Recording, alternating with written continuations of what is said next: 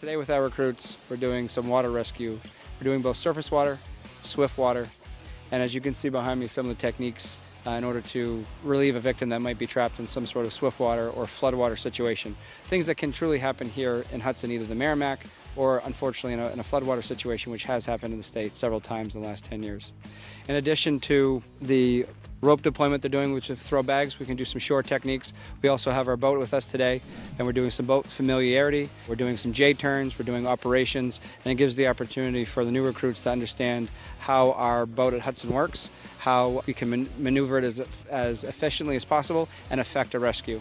We've looked at the river down in Merrill Park today. We talked about a lot of the river hazards we have available. We talked about strainers. We talked about identifying eddies. We talked about how to operate both upstream and downstream and work in a situation where you might have a high velocity flow rate and being able to move, maneuver that boat even in eddy jumping and be able to work your way up the river if potentially we had a victim trapped either in a rock or as you guys all look off of the one of the main bridges in town, you can see those bridge abutments, which could always be a popular area for someone to get trapped on.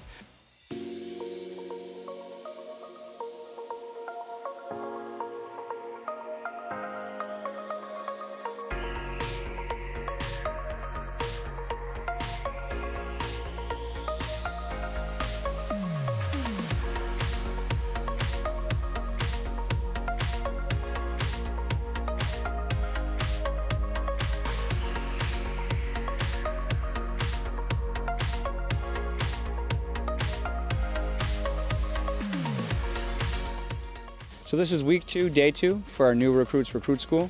Today we did technical rescue.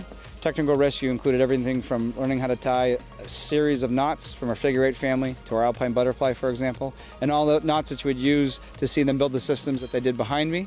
From there, we talked about mechanical advantage systems. We went everything from a simple two to one that we could use in a firefighter down situation, traditional Z system, which is a three to one system, all the way up to some compound systems and some complex systems where you could use some piggybacking uh, and some, some standard block and tackle pieces that we also keep preloaded for deployment on our squad truck and make sure we can use those mechanical advantage systems effectively. Furthering from there, we put everything together today by putting one of our rescue dummies over the edge here at Merrill Park and our crews had to create both a lowering system to get down to the patient, assess that patient, and build a hauling system to bring that patient back up to where we are so they could potentially be transported to the hospital, whatever care they might need.